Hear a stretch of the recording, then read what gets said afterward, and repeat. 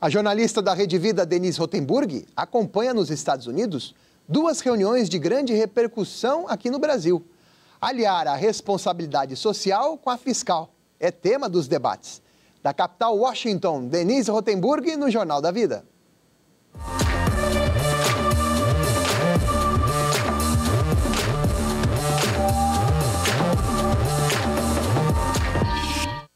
Olá para você que assiste a Rede Vida.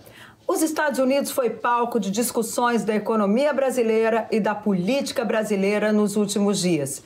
Primeiro, na Lead Conference Brasil, integrantes tanto da equipe de transição de Lula quanto do, do, Supremo Tribunal Federal, foram cinco ministros do Supremo Tribunal Federal que passaram pelos Estados Unidos essa semana. A gente teve ali várias discussões, inclusive várias conclusões a respeito do que o Brasil precisa, precisa fazer nos próximos meses e nos próximos anos. Primeiro, é preciso um tripé altamente importante para que o país possa se desenvolver e gerar empregos. Este tripé significa previsibilidade, estabilidade e credibilidade.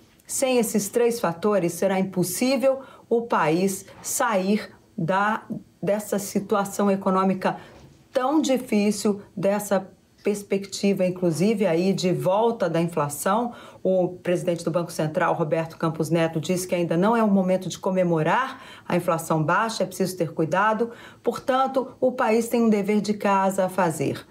A, a conclusão geral da semana foi é preciso responsabilidade social, mas sem perder de vista a responsabilidade fiscal, porque é ela que vai fazer com que seja possível tirar o país da linha da pobreza, tirar esses 33 milhões de pessoas da pobreza.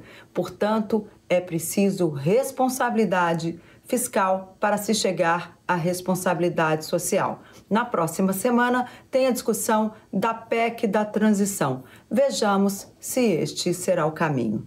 Denise Rotenburg, de Washington, para o Jornal da Vida.